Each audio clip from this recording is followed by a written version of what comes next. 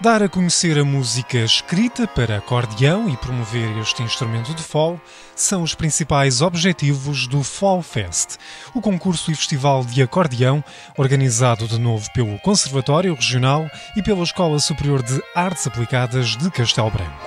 Cidade cada vez mais ligada ao instrumento associado, quer à música erudita, quer à música popular da Beira Baixa. O acordeão já, já, já tem uma tradição muito grande aqui em termos de, de, depois de uma projeção um bocadinho mais uh, profissional, digamos, tem crescido bastante e hoje a cidade de Castelo Branco é sem dúvida uma marca no, no acordeão a nível uh, do nosso país. Tanto o ESAD como o Conservatório já conseguiram, uh, de certa forma, transformar todo o cenário à volta do acordeão aqui na beira interior. A quantidade de alunos que têm saído, tanto de uma instituição como de outra, justifica plenamente essa aposta e também com repercussões que já são visíveis eh, na capacidade técnica e artística com que alguns alunos ajudam exatamente nos domínios mais tradicionais da música popular. A relação deste instrumento com a música popular portuguesa é uma relação que sempre existiu, ah, porque o acordeão tem essa tradição.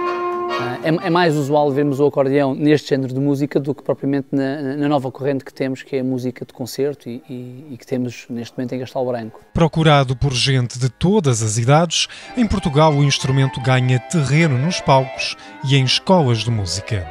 Da Exarte, onde funciona a única licenciatura em acordeão do país, têm saído instrumentistas como Gonçalo Pescado e Carisa Marcelino ou ensembles como o Desconcertante Trio nomes de referência que já marcaram presença nas edições anteriores do Fall Fest, um festival que se interessa também pelos novos talentos do acordeão e pelos textos musicais de autores como Paulo Jorge Ferreira, Sérgio Azevedo, Carlos Marques ou Carlos Marecos. É a conjugação destas, das duas coisas, a divulgação do acordeão na sua vertente de concerto e, e consequentemente, uh, a procura de, de, de, alunos, eh, de pais que também se interessem por este, por este lado do acordeão, um pouco menos conhecido, eh, mas que penso que devido, ao, devido a um conjunto de, de fatores, entre os quais o tipo de repertório, eh, o tipo de, de, de timbre que o, que o, instrumento tem, será um instrumento apetecível para, para, para os jovens,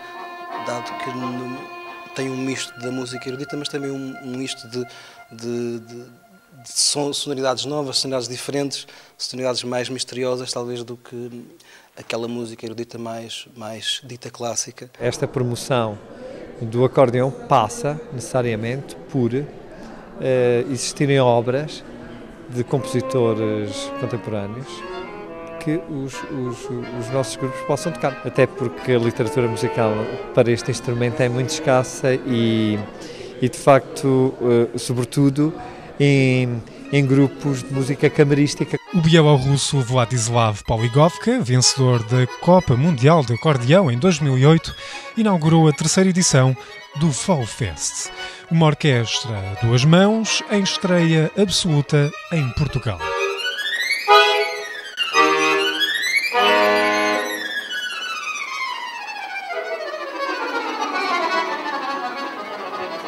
Seguiu-se o trio Lusíada, que depois de uma década de ausência regressa com nova formação.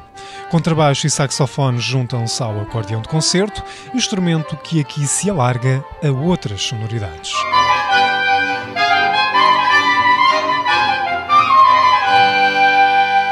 Com um pé na música clássica barroca e outro na folk urbana, os Lusíada atravessam os caminhos do fado, do tango e da chanson française.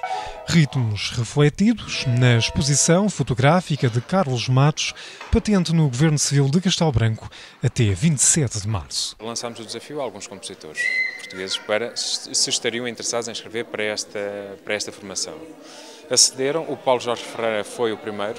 O desafio surgiu, portanto, para ele escrever alguma coisa relativa. Ele conhecia-nos a todos como músicos, portanto, que escrevesse alguma coisa que se adaptasse, fosse do seu gosto, mas também que de alguma forma nos fizesse cada um de nós pudéssemos brilhar um pouco. Quanto ao concurso José Valente e o trio Acordacci, ambos da Isarte, foram os grandes vencedores entre os 17 candidatos.